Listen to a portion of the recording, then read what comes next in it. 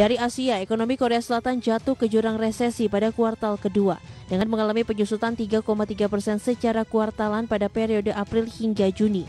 Angka ini menunjukkan kontraksi terbesar sejak kuartal pertama 1998 dan lebih dalam ketimbang prediksi kontraksi ekonomi sebesar 2,3 persen dari polling Reuters.